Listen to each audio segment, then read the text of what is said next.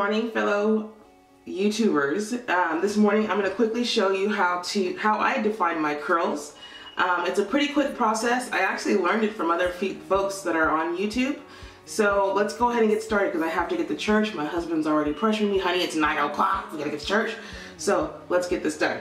Okay, first, I have a bottle of water here that has olive oil in it, and I actually keep this in the refrigerator and I let it sit out for a couple minutes before I start to use it. Shake it up pretty good here so the olive oil gets mixed up in there. Olive oil is a great way to um, seal your pores and get moisture and good stuff into your hair. So I just spray it down here. My hair has been co-washed and have leave-in conditioner. And I did that yesterday. So now I'm just gonna mix that in.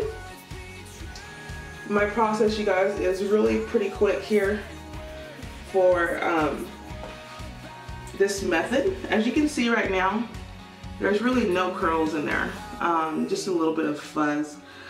I still haven't defined my actual curl texture, but as you can see, not too much going on yet. Okay. Next, um, I only use a couple of products for this style. I'm going to be using the uh, curling souffle. I'll let that get into focus here. There we go. So this is the Shea Moisture Custard Gel Souffle. I don't use a whole lot, you guys. Um, just probably about that much or so. And I'm just gonna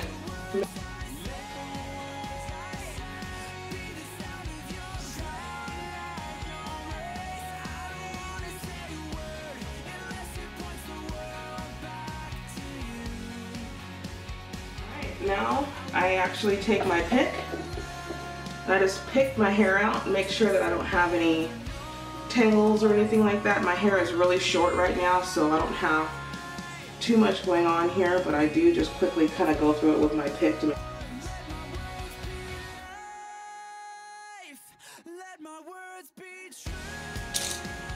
This is the fun part. I define my curls with just a regular little hand towel. I've actually seen this done on YouTube as well. And then the person followed up with the brush method. But for some reason the brush method actually takes the curls out of my hair. So I'm going to go ahead and start. Make sure that you only go in one direction. Because if you go in the other direction, it'll actually take your curls out. So I'm going to start that now. One direction. And I just keep doing the same thing all over my head.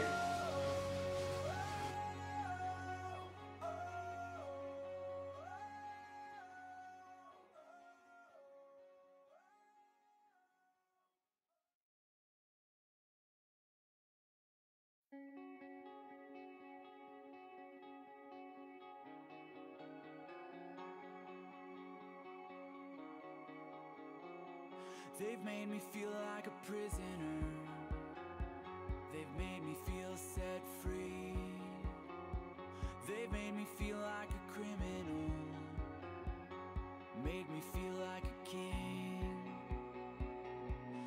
right. I don't know if you can see there, but I've got some curls going on.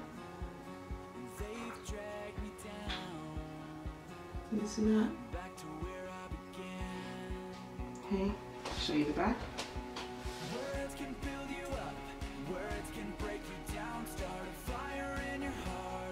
Okay, so I've got my curls the way that I want. So now what I'm going to do is I'm actually going to spray on some coconut mist spray just to give it a little bit of shine because right now I've actually taken a lot of the product out of my hair. So I'm going to be using the As I Am coconut spray. Okay. Alright. So I'm just going to mist that on. And it actually will turn your hair white. Don't worry about that because after a couple of minutes it's going to actually turn back to um, a clear color. Okay, and then I'm going to put in some Aragon Moisture, Aragon Tea Tree Oil. And I'm just gonna lightly touch. I'm not gonna actually rub this in. Um, I wish you could see how much I'm using right there. Small amount. And I'm just gonna lightly touch my hair so I don't actually take out any of my curls. Okay. And then I do actually rub my back because my back doesn't have much. It's been shaved down. Okay. All right, so now I'm gonna actually do some styling. I like to wear a part in my hair. This is something else I learned from a, from a fellow vlogger who um, is cute as a button. She, I think her video is called um, "Slick Down for a TWA for the God for the Gods" or something like that. So um, let's go ahead and make a part here. If you are styling a TWA and your hair is about this length, um, I actually thought I could not do a part, but based on her video, I figured out I could. So first, you're just gonna take the hair here and part there. I don't know if you can see that. Okay. Make sure you have your part at the angle that you want. see what I'm doing. So I just parted and I took my comb here. Now I'm to flip it over. I'm using a rat tail comb. Okay. And I'm getting my gel, a toothbrush. Okay. And I'll show you the gel that I'm using in just a moment. And I'm just taking the gel here and creating a nice little area here of gel. Okay. Now if you look, there's a part there. So I'm going to take the gel on the other side, on this side, and I'm going to brush.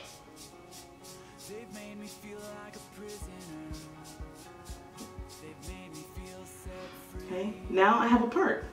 Can you see that?